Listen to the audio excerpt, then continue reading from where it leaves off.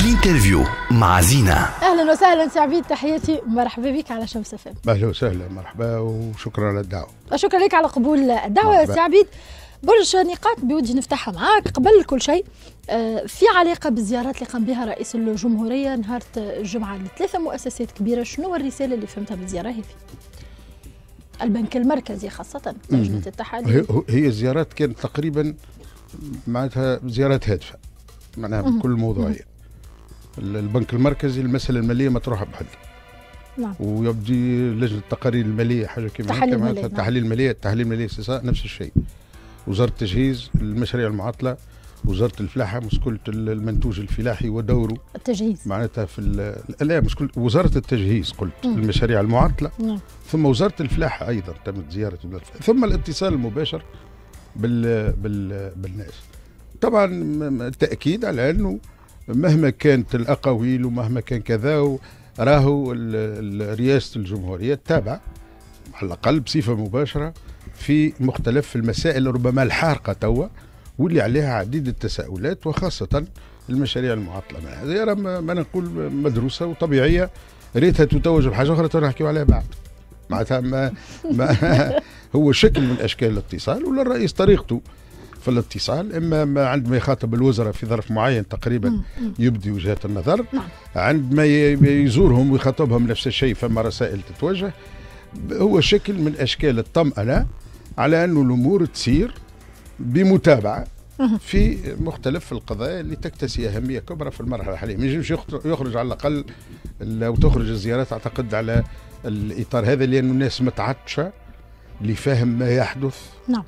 واللي فهم المشاكل هذه واللي فهم أيضا كيف يمكن أن نتجاوز هالمشاكل الحالية وإلى أين سنمشي مستقبلا وين سنمضي ثم كيفاش نية الطرق اللي باش نمضي فيها بعد الوقوف عندها. ومع من سنمضي. هذه التساؤلات الجوهرية اللي طرحناها إحنا من زمان. واللي الإجابة عليها قد يكون جزء منها. نعم. هذه الزيارات هذه وتنتظر أن تتوج بحل آخر. تو نرجع عليه فيما بعد. رئيس الجمهورية انتقد لجنة التحاليل البنكية بال banque centrale لجنة التحاليل المالية قال ما هيش تخدم في خدمتها مقصرة وخاصة انتقدها في زاوية مصادر الأموال اللي وصلت من 1 جانفي حتى ل 1 جوان اللي فات.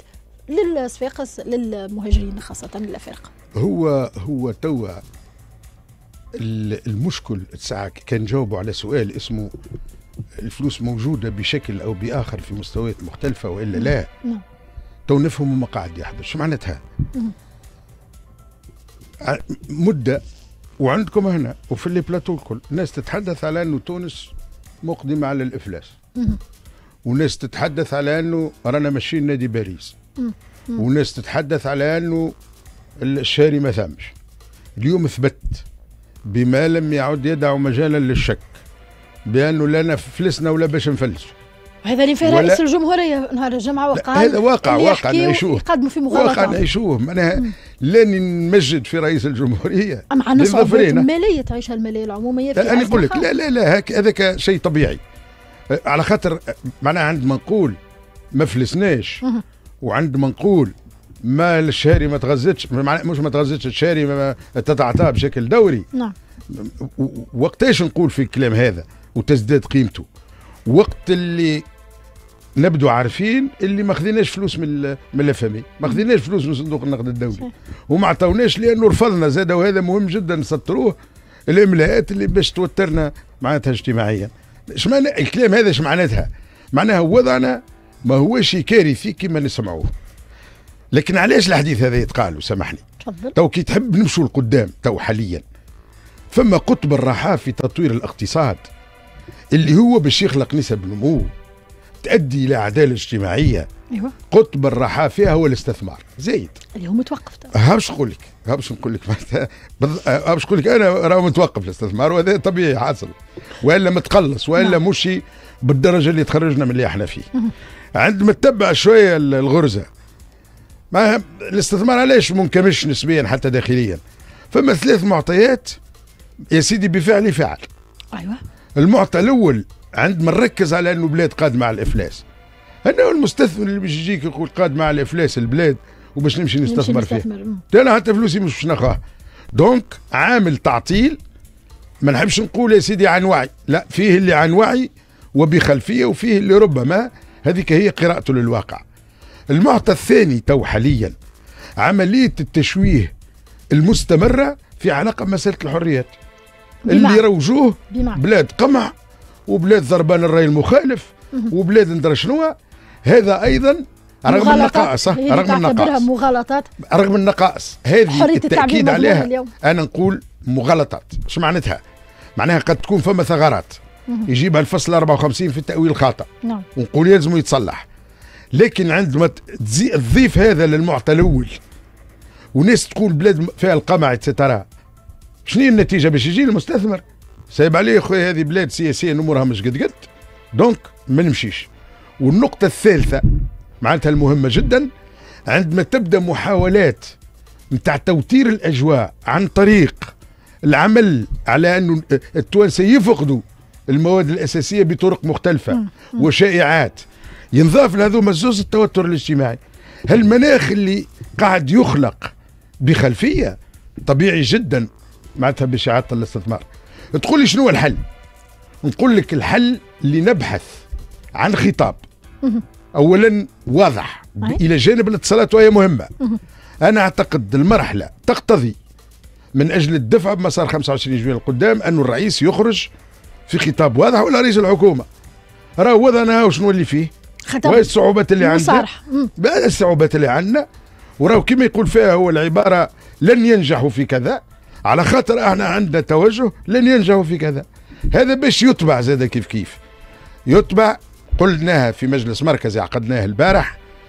تطبيق الفصل 100 من الدستور اللي يقول الرئيس أيوة. يقدم برنامجه لمجلس نواب الشعب الخطوط نتاع البرنامج. يعرض نعم. ويعرضوا ويعرضوا أيضا على مجلس الغرفة الثانية. ما زالت لكن على الأقل على مجلس النواب رغم انه الخطوط العامة للبرنامج جات في التعهدات نتاع 25 جويلة الأربعة المعروفة واللي تبنت على أنقاض السابق. بالطريقة هذه.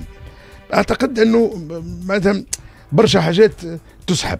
معناها برشا برشا عوامل نتاع محاولات التعطيل تسحب إلى جانب مسارات الإصلاح اللي انطلقت معناتها بشكل أو بآخر في المراحل الأخيرة واللي منها اللي كنت تحكي عليه توا الحديث على الأموال المشي للبنك المركزي ربما فما مراجعة القانون الأساسي.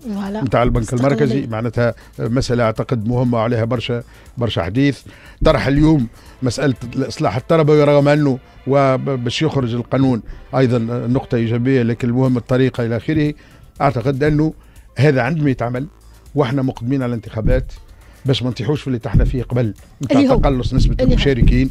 وكنا نبهنا لها لابد من توفير مناخ تطمئن فيه القلوب باش نجيك لل- تتضح فيه الرؤية للانتخابات والبرلمان عبيد قدام. ولكن نحب نكمل معك في في ال- في النقطة السياسية أنت تقول اليوم على الرئيس الخروج في خطاب مصارحة في خطاب لن يمر في خطاب آه، هو أو رئيس حكومته يتكلموا ويفسروا الوضع الوضع اليوم نعرفوا مانيش مستحقين اعطينا ال bilan موجود. إحنا في ازمه الناس كلها صابرة بدليل الشعب ساكت فمش مواد أساسية متوفرة ومع ذلك ساكت.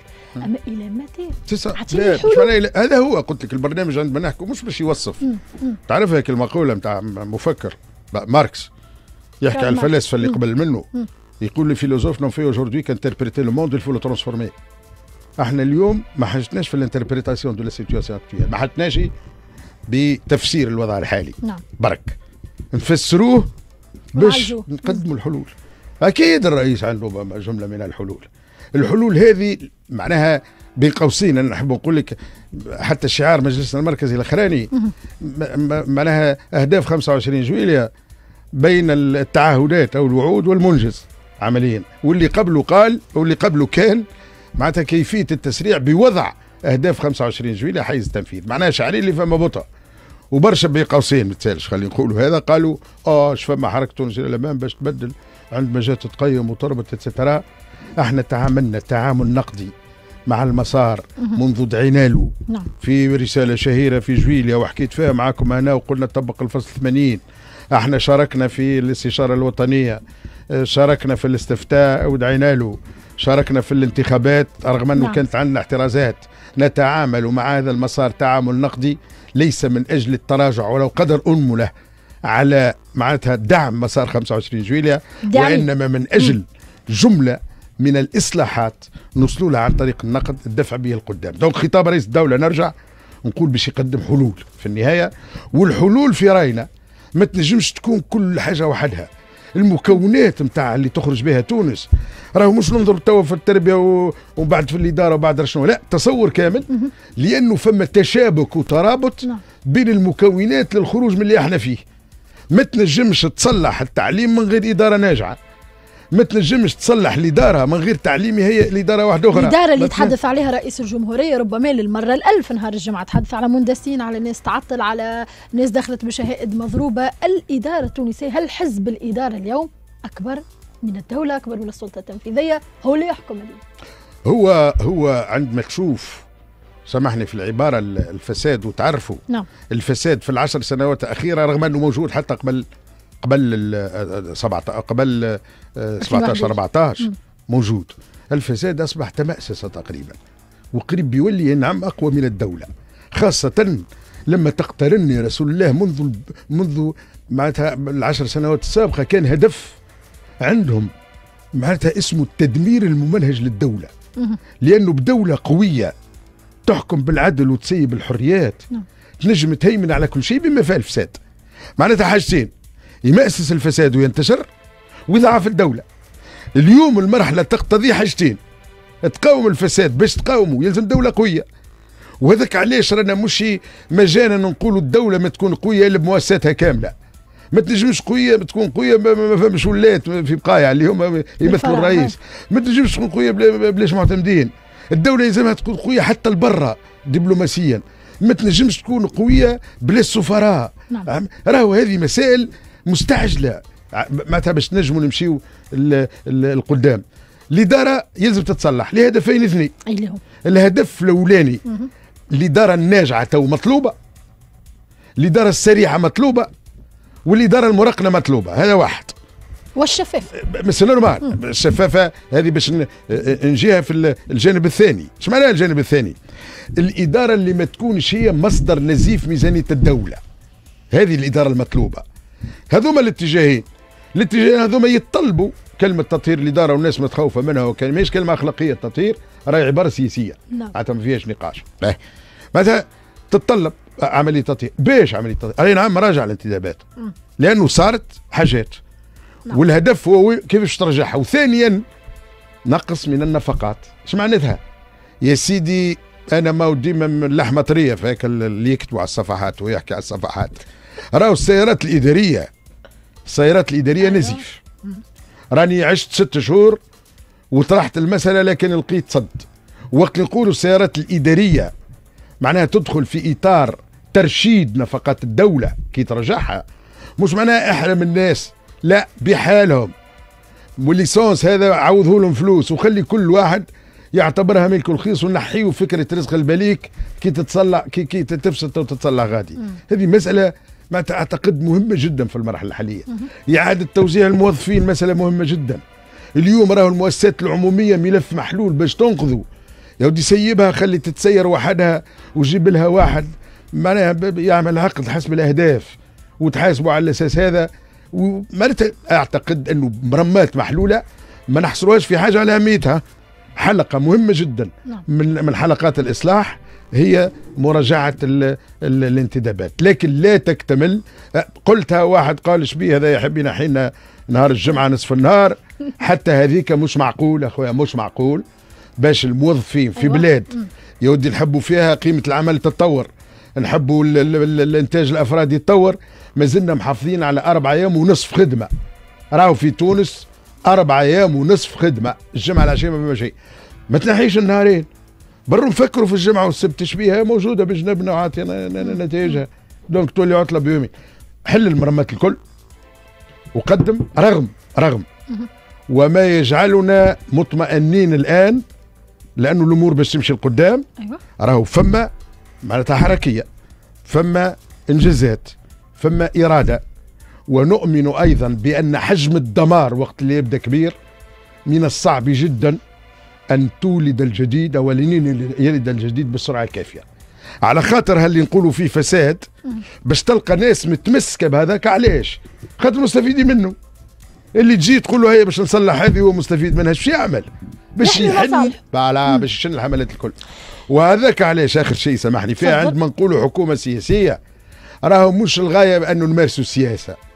الغاء مش الغاية انه تدخل الحكم ولا لا هذه الغاية بعيدة أصلا. معناتها كان الناس حاجتها بالحكم راهو من 25 جويلة قالوا نحكم مع بعضنا. لا راهو لأنه البلاد تقتضي رؤى سياسية بعد ما عدينا مرحلة التأسيس للمؤسسات الجديدة. برلمان يخدم على روحه ثم ماذا بينا تكتمل نرجع الأخرى لك على محكمة عمل ال- البرلمان المحاسبات آخره؟ القادمة. معناتها آه، شو اسمها هي؟ المحكمة الدستورية. نعم. وهذه كلها يلزم. يلزم يلزم تكتمل من أجل إيش؟ من أجل أنه نهيئ الأرضية اللي تصلب القدرة على مواجهة الدمار اللي أدرك معناتها أقصاه. الأرضية كيفاش نهيئوها سي عبيد البريكي ووين هي الأحزاب؟ هل الأحزاب مازال عندها وزن؟ هل ال- الواسطات هذيما اللي ربما رفضهم رئيس الجمهورية؟ قادرين أنهم يكونوا جزء من الحوار من الحكومة القادمة؟ آه شنو الوزن اللي عندكم. اليوم كأحزاب؟ باهي. جاوبني بعد الفاصل الإشهاري ساعة. اي دكار شمس.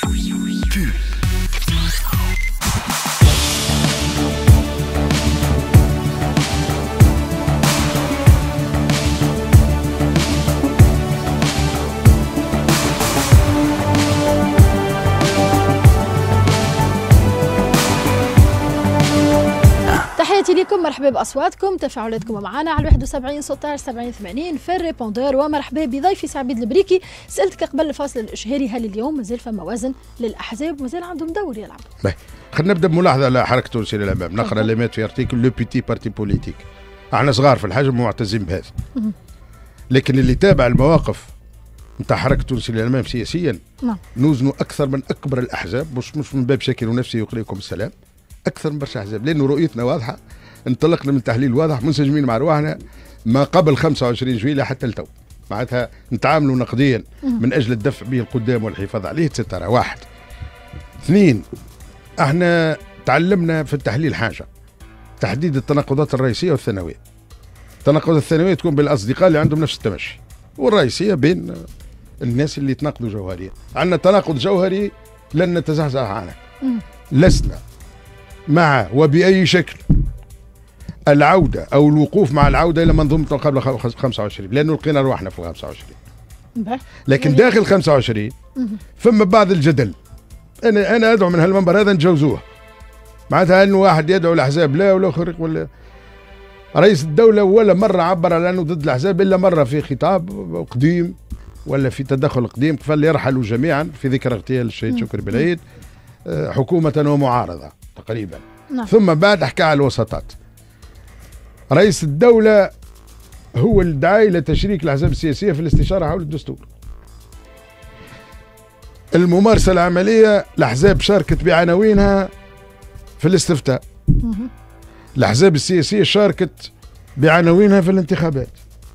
معناها الواقع يفند ما يتقال نظريا من عند البعض. عهد الأحزاب انتهى. أو. الاحزاب قبلت ربما إنها آه، أو كان واضح مش قبلت هي معارضة. آه، لعبوا كلهم دور المعارضة قاطعوا الاستفتاء. نحن أحرار. ضد 25 جويلية أحرار أحرار. ضد البرلمان. أحرار. ضد الاستفتاء. الدستور. ومقاييس التشريك. يلزم تكون مقاييس موضوعية مش من باب الانحياز. أنت باش تدعو إلى استشارة حول الحزب حول الدستور أي نعم. ويجيك الجدل في عود باش يكون الدستور هذا يصلح. في نقطة كذا ونقطة كذا وتعامل معه نقديا. كيف تعاملنا إحنا معاه؟ وقدمنا مقترحات. ونذكر رئيس الدولة كان يسمع للناس. وعمل تنقيحات ليلة عيد الأضحى وأعلن عليها في ثمانية نقاط. نعم. معناه وهذا مم- باهي باهي برشا. رغم انه نقدنا وقتها الاستفتاء وقلنا راهو الفلوس قلناها وقلنا رؤساء البلديات باش معناتها يهتكوا الدنيا ويأثروا سلبا على نتائج الانتخابات. أبدأ التفاعل في حديث معين مع رئيس الحكومة ثم بعد ما تمش. معناتها قضية ثانية. دونك فما تفاعل. مشاركتهم يأكد عكس ما قاعد يتقال. باهي لكن نظريا خليني نقولها من هنا زاد كيف كيف. راهو التاريخ علمنا اللي الأحزاب السياسية راهي تعبيرات من الطبقات في العالم مادام موجودة ما عادش تنجم تقول الأحزاب ما عادش باش تندثر. وحتى الحزب اللي يندثر ردوا بالكم منه. قد يندثر بالاسم ويرجع بوجه آخر. اللي يتوهم الإسلام السياسي انتهى n'a rien compris. اللي يتوهم في العالم الشيوعي انتهت n'a rien ما فهم شيء راهو تعيش حالات مد وجزر نعم. donc كيفاش تتعامل مع الأحزاب اللي يدعم مسار مش شاركوا في الحكم نزيد نعاود اللي يدعم المسار القدام وينقذوا راهو اللي ما ينقذوش ويسمحوا لي فيها الملاحظة هذه ما يختلفوش على اللي يحبوا يرجعوا لتالي؟ علاش؟ شو معنى؟ هاو شو معناها؟ اللي يحب يرجع لتالي ما يهدم مسار 25 هاي؟ اللي يعطي للرئيس معطيات غالطة من الحكومة.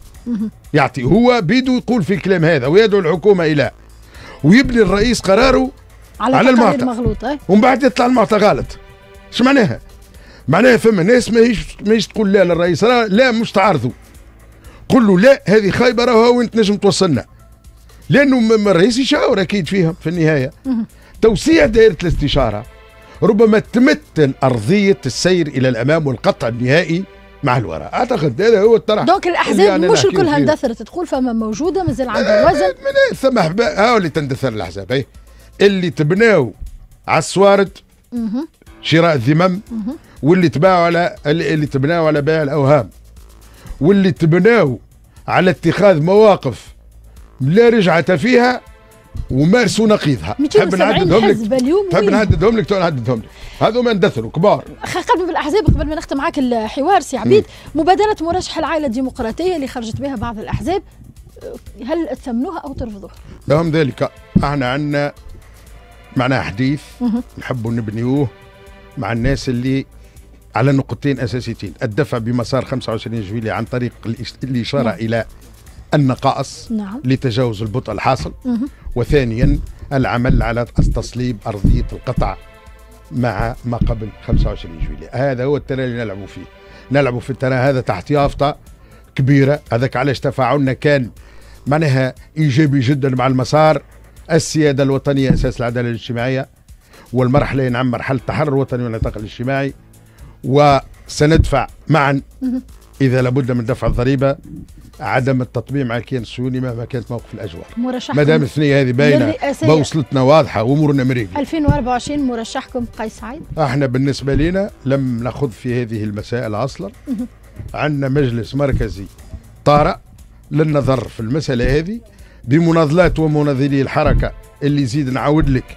مقياسنا ماهوش الكم مقياسنا الكيف واللي يحب نتحاسبوا على المنجز وعلى التعامل النقدي مع المسار من أجل الدفع به قدام أهلا وسهلا مرحبا جواب دبلوماسي. مرشحكم شكون؟ سي. عبيد كما كما الناس اللي يقول لك نحن. نبحث على مرشح ينافس قيس سعيد في الرئاسيه هل هناك مرشح ممكن ينافس قيس سعيد؟ نحكي على مستوى الشعبية أنا لا نعرف شكون باش يترشح. وهذه النظرة ال- الاستباقية سابقة لاوانها مم. هم بداو إحنا. إحنا أحنا معناها كل شيء يطيب في وقته. اللي اللي يطيب قبل وقته هذا ما نصيب. خليها تطيب في وقتها وتلحد موقف بمعنى المبادرة مجلس ربما مركزي يعني ينعقد. نحكي على باش مبادره ينظر في المسألة بعض أصلاً. الأحزاب اللي لوجوا اليوم على مرشح يعينهم هل المبادرة نتاعهم نحن خلي أو ولدت ميتة؟ وشوها كمبادرة مش باش يمشيوا بعيد تعرف ولا فما اليوم منافس ربما. زينة شنو؟ فما إحنا اليوم. نجحنا آه فاش نجحنا. سامحني فيه تفضل. إحنا نجحنا لأنه مواقفنا نحددها في ضوء قراءتنا إحنا وقعنا إحنا توجهاتنا إحنا. راهو عندما تبني موقفك. معناها بنقد الآخر ولا بمدحه. ما تنجمش تقدم القدام. هذاك علاش إحنا نجمعوا بين المواقف المبدئية والمواقف النقدية. ما نجموش اليوم أنا نجي نقيمهم هو باش نحدد موقفنا إحنا لا أعطيني موقفنا موقفك ذاتي الشخصي. بعيد على على حركة؟ تونس إلى الأمام من شنو؟ المرشح تعتقد اليوم سي عبيد البريكي كوزير سابق كناشط سياسي آه هاو بعيد على الحزب هذا ما يمثلش الحزب موقف آه. فما اليوم آه، مرشح أو سياسي قادر إنه ينافس قيس سعيد في الانتخابات القادمة توا توا شو تو اللي انت نحن تحاصر فيا بالسؤال شخصي هذا هذا مش رأي الحزب. ما, نجمش نعطي رأي شخصي اولا هذا تنقولوه وباش نقولوه ما نجحش من به بعد إذا كان درسناه وخذينا نفس الموقف ما مش هذايا. ثم ما, ما ثماش مرشحين باش نقيمهم اولا تبقى اللي, اللي تاخذوا الآن. ها خذوا هذا مني. أيوه. قلتها قبل وصار العكس. الله يسامح اللي كان سبب.